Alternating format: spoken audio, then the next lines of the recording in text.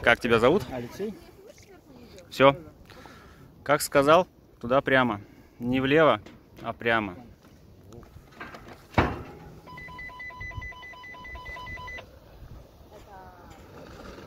Мне показалось, или человек сейчас в трубу прыгнул? Да, да, сам. Улетел.